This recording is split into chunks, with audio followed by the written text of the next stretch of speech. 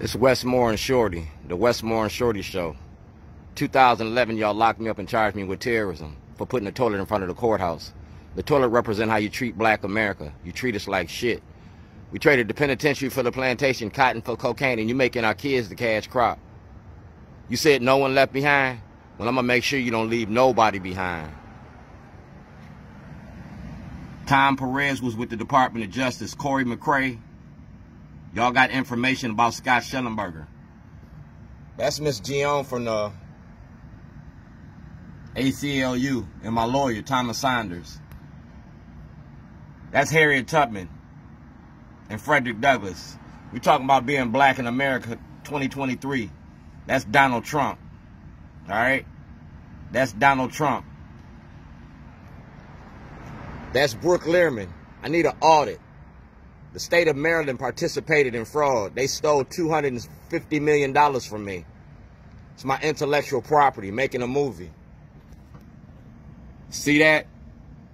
Seventh Amendment, suits in common law.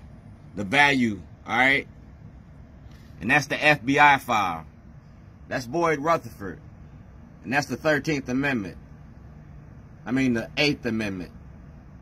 All right? And that's the right to vote. That's Governor Hogan.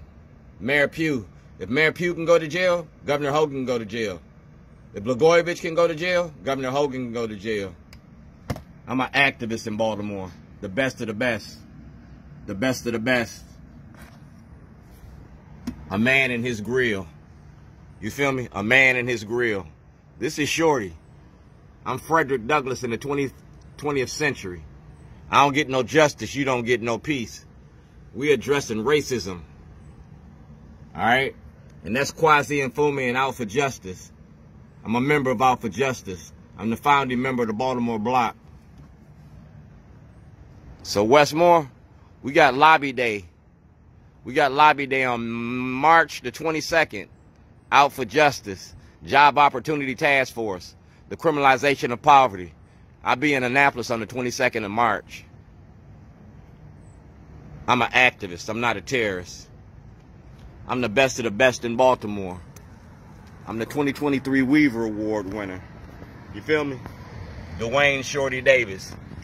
So you say, Shorty, put your mask up? Put some respect on it. Y'all gonna see toilets all over Baltimore.